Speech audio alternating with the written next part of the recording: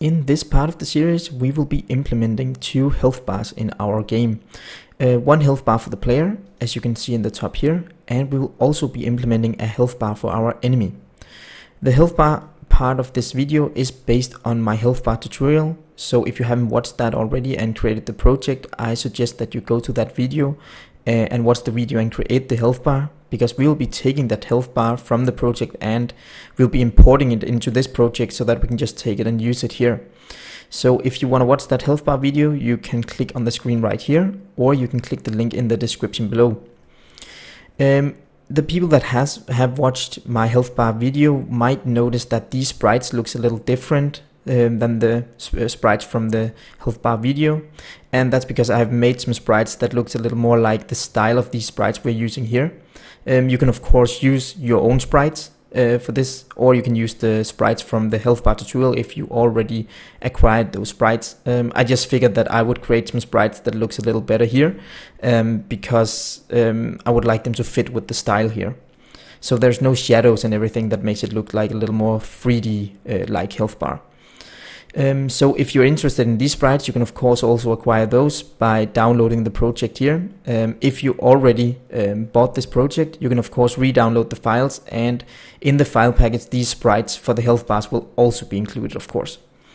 So uh, let's see, we have the player's health bar here and as you can see here, every time the player takes damage, the health bar up here will reflect his health. Um, it might take a little while for her to kill him because he has that immortality every time she attacks him. Um, right now, we can't see the enemy's uh, health bar, but um, the first time the enemy takes damage, um, the health bar on top of the enemy here will appear. And as long as the enemy doesn't have full health, uh, this health bar here on top of her uh, will be visible. So as you can see, if we kill her, she will die right here and she has zero health and when she uh, respawns the health bar will be gone again because we, she haven't taken any damage. And when we attack her the health bar will show up again. And as you can see here with our player when he dies it shows that he has zero health. And when he respawns the health bar will of course fill up again to a 100 health. So that's basically what we are going to implement throughout this uh, part of the series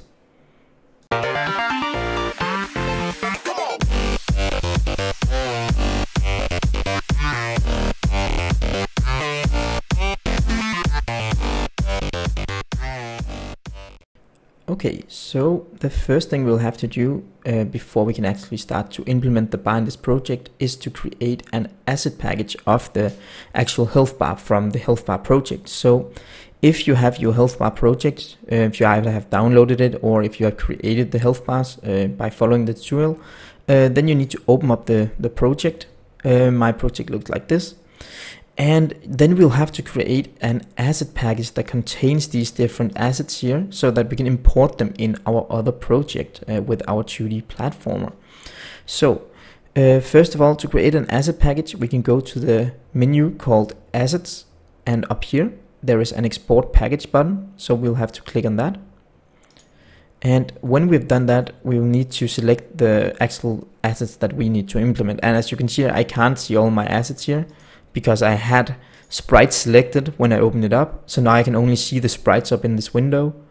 Um, so basically I'll have to close this one and select the asset folder up here and then go to assets and export package.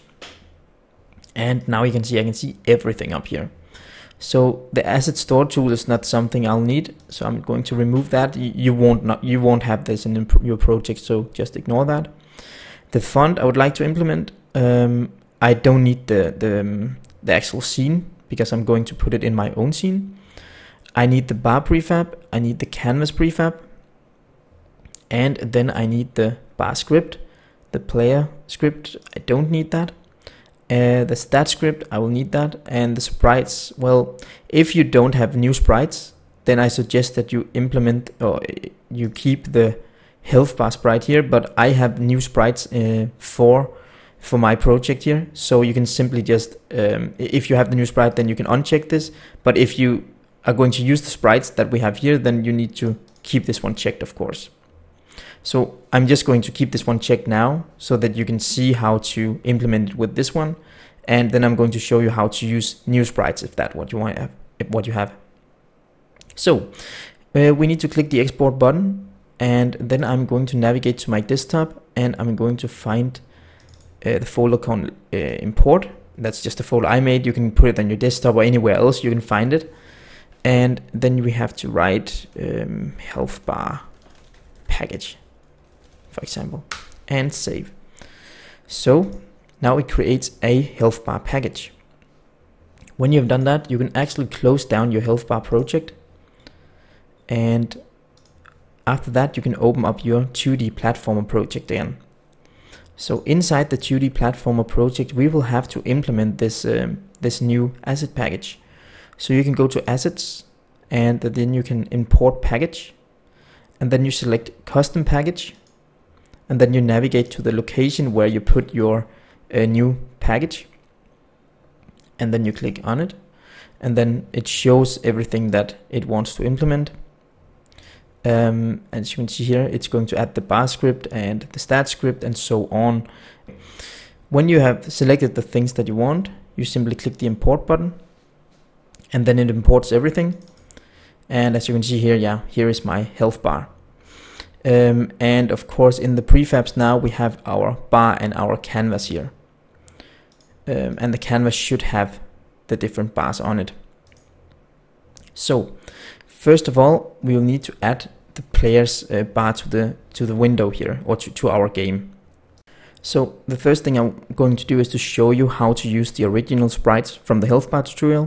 And when I've done that, I'm going to show you how you can use your own sprites or some other sprites or those sprites that I'm using uh, throughout this tutorial. So to do this, you'll have to take the canvas and drag it onto the screen. And as you can see here, when you drag the canvas in, we can call this health canvas, just to distinguish it from the others. Uh, then you'll see there are three bars on it and we only need a health bar. So we can simply take the energy bar and the shield bar and delete them. When we have the health bar, we can take it and place it wherever we want to on the screen. Um, right now it's the top left corner here. Um, I'm later going to place collectibles in the top left corner. So instead of this, I'm going to place it in the top right corner here because I would like my collectibles to be over here instead. Um, so this is basically how you add the health bar uh, to the screen if you are going to use the original sprites uh, that I was using.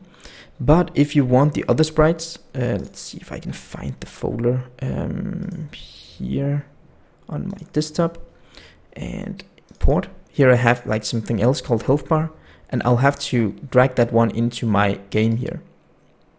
So let's see if I can select Unity. Here we go. So you just take the new sprites and you drag them into your um, your project folder.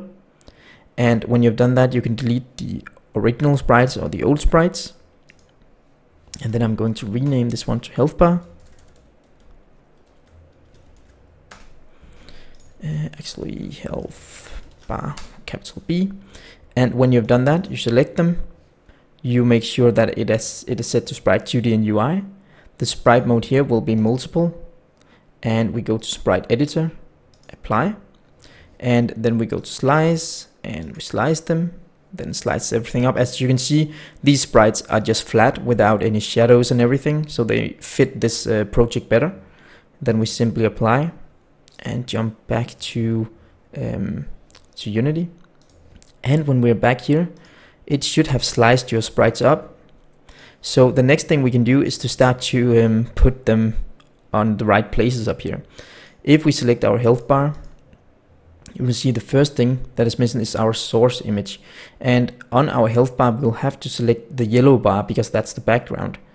So we select missing sprite and we find basically it's easier to drag it from here because we have so many sprites I just forgot. So select your health bar, find the yellow sprite here and drag it onto a position here. Select uh, the icon and take the health heart or whatever you want to put it there. And what else do we need? If we take the mask here, we'll have to take the brown thing and put up here. And then we have the last, um, under the mask, we have our content and then we'll take the white bar and drag onto here And then we simply take the color of the white bar and make it red, um, as red as you want it. I want it like this. There we go. Okay, um, if we look at the heart right now, there is a shadow on it. Uh, I'm not sure that I want that in the game. Let's see if I maximize how it looks. Mm, I'm not so happy about the, the shadow, so I'm going to remove the shadow by right clicking and remove component. So now I have some very plain things here. Uh, maybe I would like an outline around my heart. So if you have the icon selected, you can also add component um, and write outline. It's going to make an outline around the heart. And I think this looks uh, way better than before. But of course, you can play around with this and put it exactly as you want it. Um, I am simply doing whatever I think looks best. And as you can see here, he doesn't have health because we haven't set it up yet. Um, but for now, we have actually set up the player's health um, right now, or the health, the health bar for our player right now. So that's all you needed to do to implement the health bar from the health um, tutorial project into the 2D platformer project.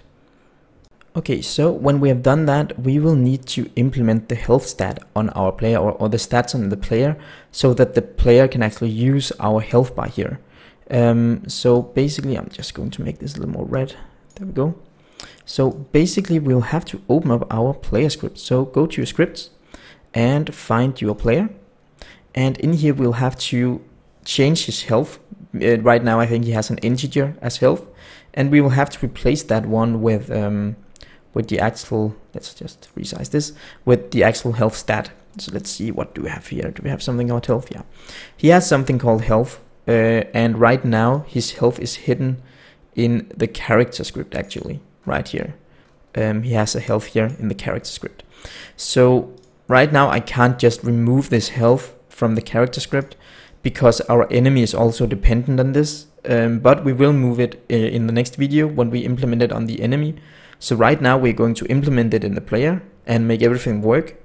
And then when we have done that, then in the next video we'll take and move the essential part from the player into the character uh, and then implement it in the enemy. So we are going to do this step by step so you can see how everything works.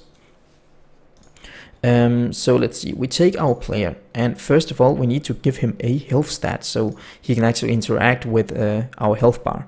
So if you remember from, from the uh, health bar tutorial, we actually created something called a stat class, and this stat class will be driving our actual health bar. So somewhere up here in your fields, it can be anywhere. Um, I can simply just do it after my uh, that event here. I make a um, private um, stat called health stat, and this one is going to be serialized. Uh, serialized field here we go. And then we save. Okay, so the player is dependent on his health at a lot of different places uh, in, in, in this code here. And right now in the stat, we have something called max value and we have the current value. And when we create a health stat, the max value is the maximum health of the player and the current value is actually the current health of the player. So everywhere we're using max health, we need to replace it with max value, and everywhere we are using the current health of the player, we need to use uh, uh, replace it with current value instead. So let's uh, just try to search here. If I press Control F and I write health, then you'll see every place I'm using health is lighting up here. So basically I'm going to use here called health stat dot current value. So if my current value of the health is less or equal to zero, then I'm dead. And else I am going to return my health stat dot current value here. Okay, let's keep scrolling down. Inside our take damage function, we also have health. Uh, the other place, sorry if I didn't tell you, we have a property called is dead, and it's inside that one we have our health here. So you simply have to find your is, is dead property and then replace health with health stat and current value. The other place we need to find is our take damage enumerator function. And here it's reducing his health with 10, but here we actually have to say um, health stat, uh, not health, but health stat, dot current health or current value minus equals 10. And what else? Down here in death, we also reset our health to 50 But what we actually want to do, when we die and we respawn, we will actually like to reset our health to max health. So we write health stat dot uh, current value is equal to health stat dot max value. So this will reset our health to the maximum value it can have. So he regains his full health when he dies. And that's basically it. The next thing we need to do is to go back to the inspector or back to Unity. And now we need to find our player. And when you've clicked on your player, and if you scroll down, um, there should be something called health stat here. And I'm just going to move this so you can actually see something uh, from my picture down there. I'm not sure if it's covering it. Um, as you can see on our player in the inspector, if we select our player and go to the inspector, we will see something called health stat. And if we open that up, we'll see that it's asking for a bar. So we simply have to take our health bar and drag it all the way over here and drop it so it has the health bar script on it. Then we need to tell it what's our max value. Well, my max value is going to be 100 and my current health when I start out is going to be 100. So right now everything is actually set up. So if we put this one back here, um, that's not what I want to do. There we go.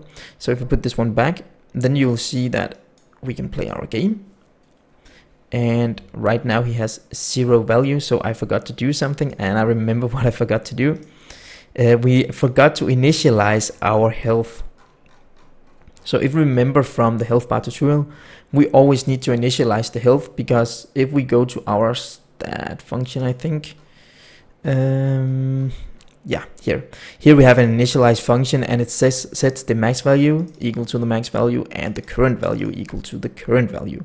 And I'm never calling this from my player. So I need to go back to the player, find start, and down here I need to say health stat dot initialize. There we go. So if I do that and save, and then jump back to the game and play again, let's see what happens. Then my health is a hundred so let's see if I can take some damage here. And when she attacks me, um, I actually get my he health reduced here. Um, maybe it's a little is a lot I put here. Let's just say that I want my current health to be 20 when I start. So you can see I have 20 health and if I die now, let's take one more hit and then I should die. There we go, then I die, zero health and respawn to 100 health. So that's all it took to be able to implement uh, the health bar from the health bar tutorial into this project. Uh, remember you can find um, the actual health bar project uh, link or the link to the tutorial in the description below. Um, so I think that's it for this video and in the next video we will be implementing the health bar for our enemy instead. Um, thank you very much for watching and remember to like my Facebook page, follow me on Twitter and please don't forget to subscribe to this channel for updates. Also if you have any suggestions for this tutorial or any of my other tutorials then please don't hesitate to write something in the comments. Uh, basically this health bar thing here is based on comments from you guys um, and the on the enemy is also especially based on, on comments from you guys. Uh, so if you come with some uh, nice suggestions, of course, I'm going to implement them. Um, also, don't forget that InScope Studios is a community founded page. So if you like my videos and you would like to support me, you can do this in two different ways. You can click the Patreon link in the top to go to the Patreon page and see which different perks you can get. You can, for example, get all the projects that I've made, uh, including this project and all the sprites and everything that I'm using in these videos. Or you can simply just click the uh, link in the, in the bottom of the screen where you can get this standalone project here with all the sprites and everything. Or you can, of course, go and get any of my other projects as well.